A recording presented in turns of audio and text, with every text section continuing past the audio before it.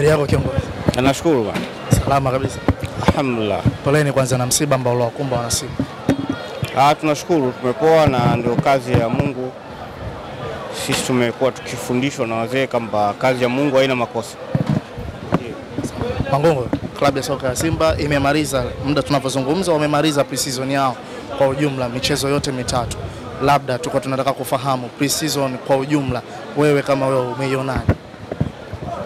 Pre-season tulishaimaliza.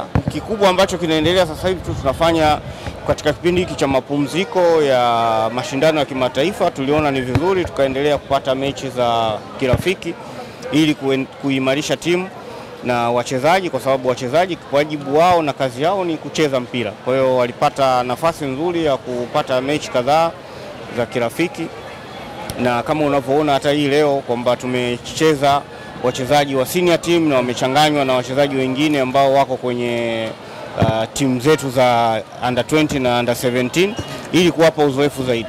Ligi imesimama lakini tunaona Simba wanaongoza wakiwa kileleni na pointi sita. Unauzungumziaje labda raundi mbili hizi za mwanzo za msimu? Raundi nzuri kwa maana kwamba tumecheza mechi mbili, tumeweza kupata ushindi katika mechi hizo zote, na kama ulivyosema kwamba tunaongoza ligi na tunategemea kwamba tutafanya vizuri zaidi katika michezo inayokuja. Matarajio ya Simba kwa msimu huu Kama ilivyo kawaida, sisi tunafanya vizuri na tunaamini kabisa kwa uwezo wa Mungu na jitihada ambazo wachezaji wamejielekeza, washabiki wakiendelea kutuunga mkono, timu itafanya vizuri na tutachukua tena ubingwa kama ilivyokuwa.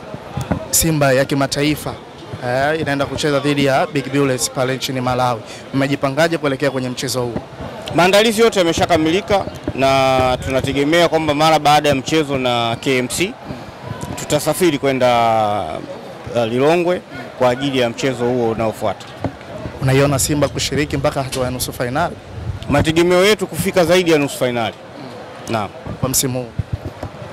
Misimu yote huwa tunaweka malengo hayo, lakini sasa malengo sio, mipango sio matumizi. Inategemea na hali ambayo tutakutana nayo na changamoto tutakazokutana nazo, lakini mategemeo yetu sisi tunategemea kwamba safari hii tumejipanga tufike zaidi ya nusu fainali. Neno lako moja kwa mashabiki wa klabu ya soka ya Simba na kutazama kwa hivi sasa? Waendelee kuiunga mkono timu yao, tunaendelea kujipanga. Uh, tunafanya kila jitihada kuhakikisha kwamba timu yetu inafanya vizuri. Shukrani sana. Asante.